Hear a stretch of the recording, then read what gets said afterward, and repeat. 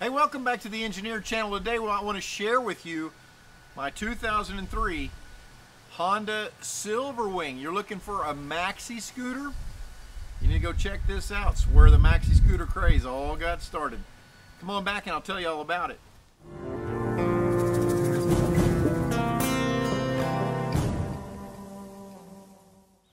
So welcome back to the channel. I want to show you today my newest acquisition here for a scooter. This is the biggest scooter I've ever had. This is the Honda Silverwing. It's an 03 model, 582 cc, liquid cooled, uh, four stroke, two cylinder. So look at how beautifully sleek this engine package is. 600 cc's, actually 582 cc, parallel twin, four stroke engine. With the unsprung engine weight, this bike has a very low center of gravity and handles very, very and, good. And, um, you know, I have a thing for scooters, and I thought, well, let's try the biggest one. I found a smoking hot deal on this uh, Silverwing, and so I want to show it to you. Now, one thing that I've noticed about this bike is this. It's, it's a little bit high off the ground. I got long legs, and, and it's a little, I'm on the center stand now, but it's a little high off the ground. And when you pick your feet up, you feel like you ought to be on the peg but my feet hit the side of the bike. You have to really bring your feet up to get them on the floorboards.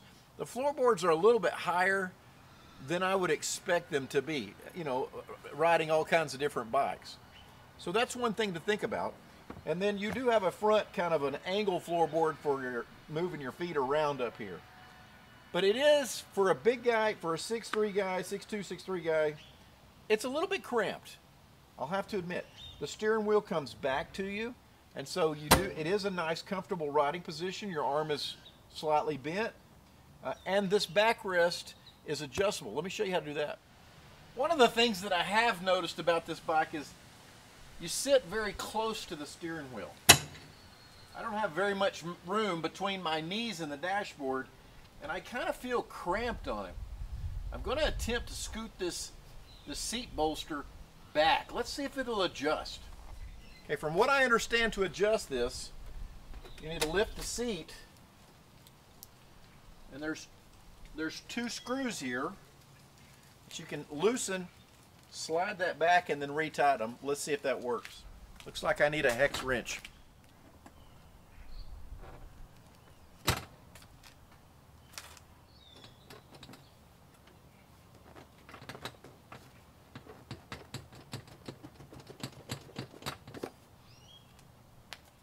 Okay, when you take those two screws out, you see you can slide this back and you see that it has holes in it. So if you put this in a different hole, you can adjust that seat back, forwards, and backwards. That's going to be nice.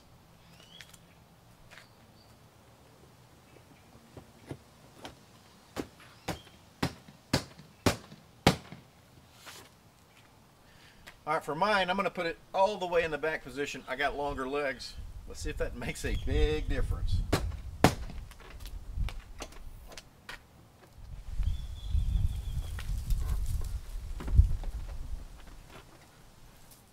Okay, so I moved it back.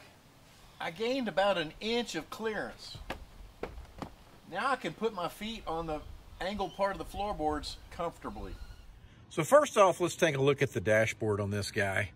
Okay, really really good clean looking dashboard. You've got a, a, uh, nice tach over here. Your turn signal indicators above the uh, speedo cluster there. And then you've got a digital uh, gauge over here that tells you the time. You've got your fuel gauge. You've got a temp gauge. And then you also have your, uh, of course, miles down here. And, you, and it, there's a trip odometer as well. This particular one has 8,200 miles on it. For being as old as it is, 17 years old, not too bad. The hand controls, very simple. Turn signal, horn, high beam, low beam. And then of course, on the other side, you've got your run and off, your engine stop, and your start button. And that's it. So pretty clean dashboard, simple, simple controls. You don't want a whole bunch of stuff going on.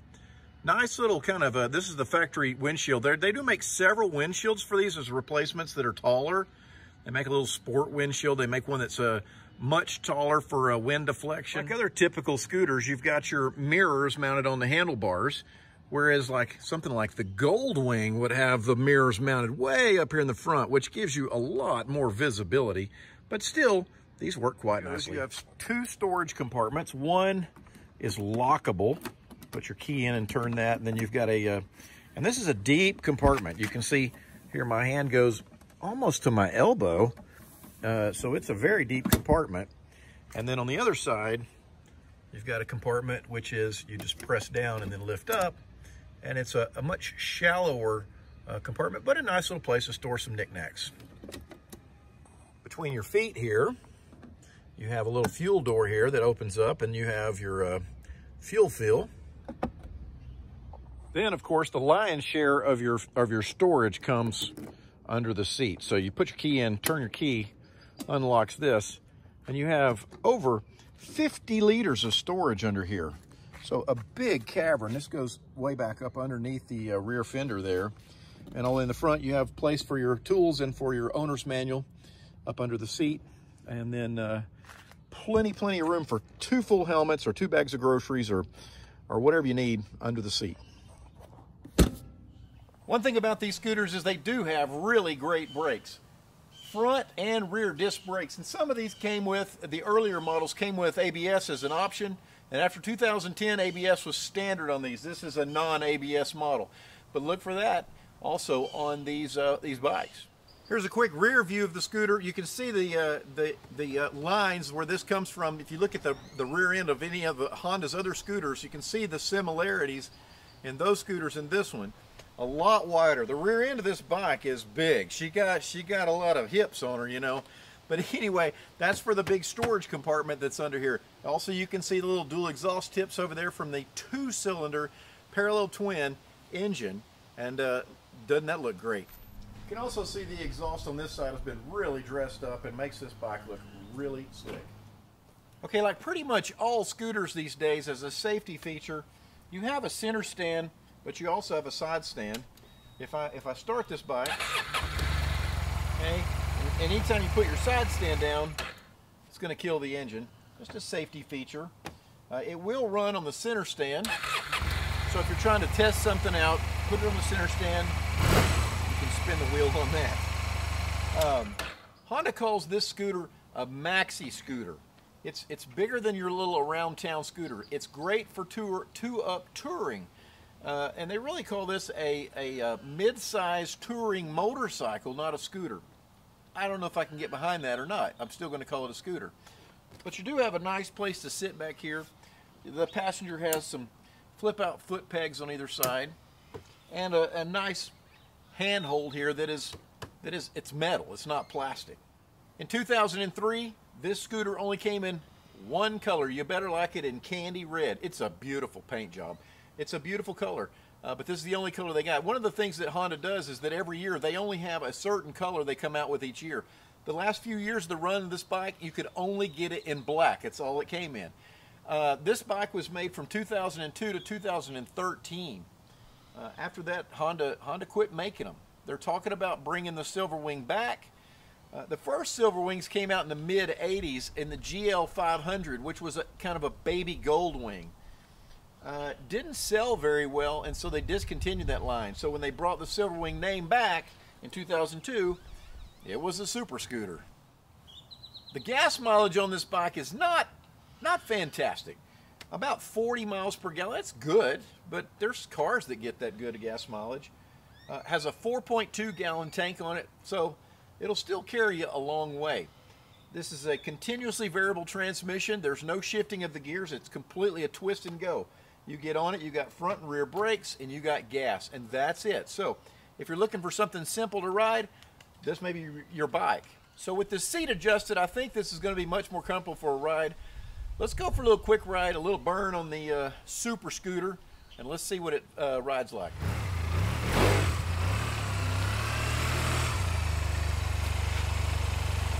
All right, let's go for a ride.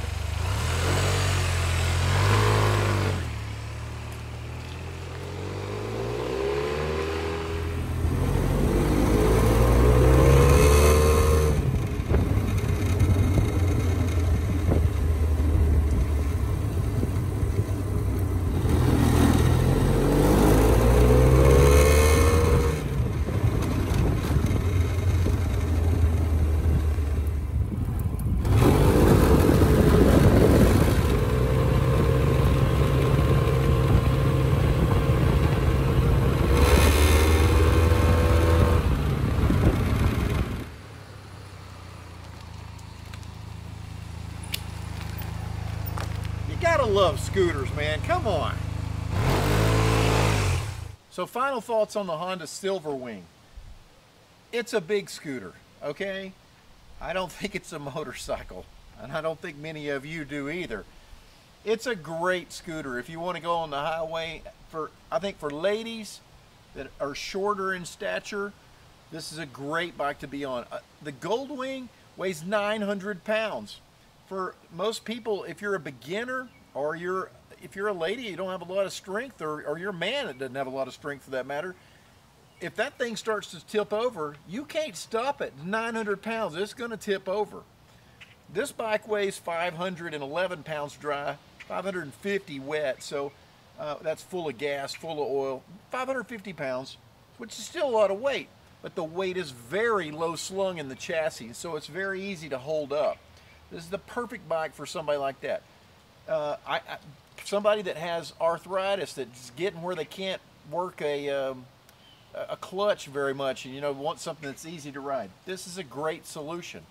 It's a great scooter and it, and you can go on the highway you can go anywhere. You're most scooters you're limited to around town to 45 miles an hour.